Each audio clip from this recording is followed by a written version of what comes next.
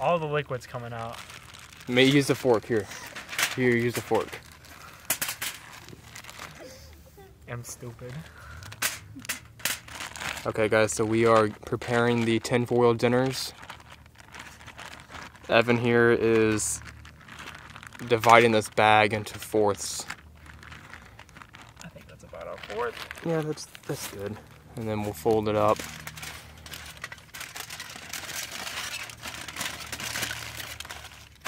Boom, one done. Okay, so we are packaging our fourth one. The rest are right there. We're kind of waiting for this fire to become more of a coals. So we got a little longer and then we're gonna put these on there and we're going to start cooking our burgers. So there we go. All right, Evan is putting all four of them on there. They're already starting to sizzle. There we go, all four are on there. 10 minutes, we're gonna flip them over.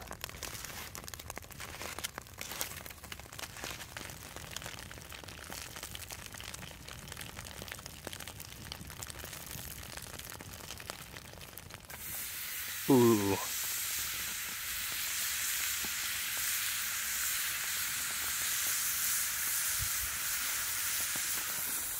So we have just put our first burger on. It might be, the pan might be too small to put two on there, but we'll see. I'm gonna get a video once everything is all finished cooking.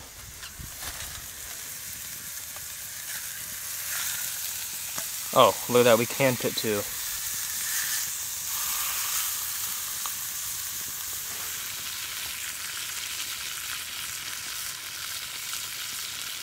Okay, so the burgers have been um, finished and Evan is doing a review. How does the burger taste? It's well aged, cooked on a metal skillet in a coal fire, has hints of beef, well seasoned, cheese, in fact. 8 out of 10. Thank you. Oh my god.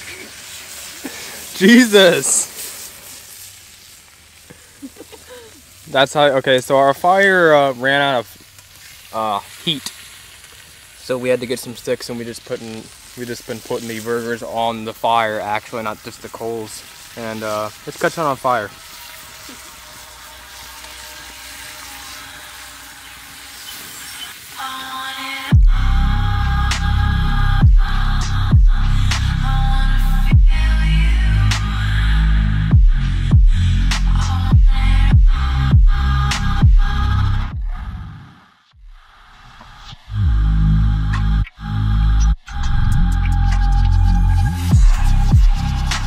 Okay guys, so we are at a uh, little dump here.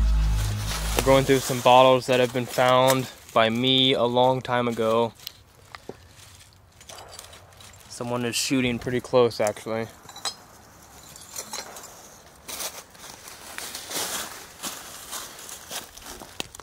You finding anything over here? Uh, Pull something out. Just in uh, an old can. Looks like we have another bicycle rim. It looks like is that another rim? I think so, Oh god. but it's pretty tough in there. We're just trying to find some cool bottles. That's all. Pretty much the highlight of the the highlight finding the day of these uh, 1960s pants.